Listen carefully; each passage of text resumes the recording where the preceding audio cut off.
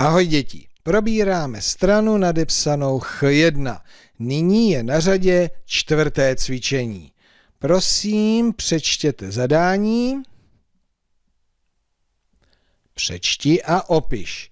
Budeme psát nové písmeno a na to, jak se to dělá, se podíváme sem, aby nám pomohla Agátka. Takže nové písmeno Ch se skládá ze dvou částí. Obě dvě známe. Tohle známe jako písmeno C. A druhou část, kdyby byla napsaná zvlášť, tak bychom to přečetli jako H. Ale když se tato dvě písmena napíší vedle sebe, tak to čteme jako Ch.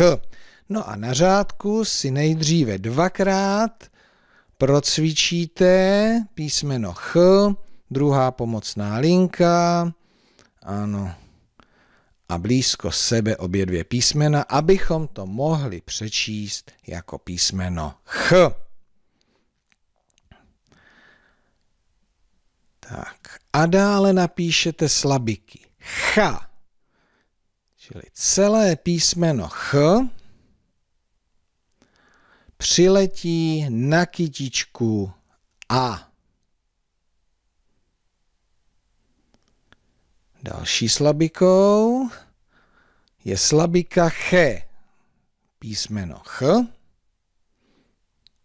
a potom napsané písmeno E.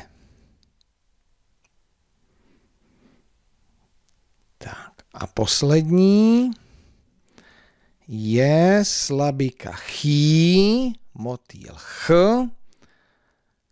a tady si můžeme říct, že motýl Ch většinou přistává na kytičkách s tvrdým i. Tady přistál na dlouhém tvrdém i. A máme tu slabiku chý. Takže takhle byste to měli udělat.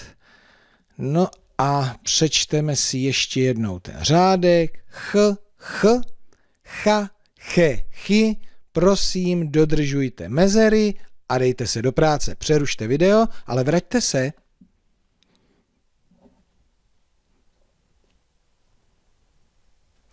Tak máte napsáno. Tak jak vám šlo písmeno Ch? Bezšlo se vám?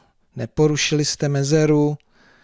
Jedno Ch, druhé Ch a teďka. Ch. Ch a. Che. Ch. E. Chý. Ch. I. Tvrdé, dlouhé I.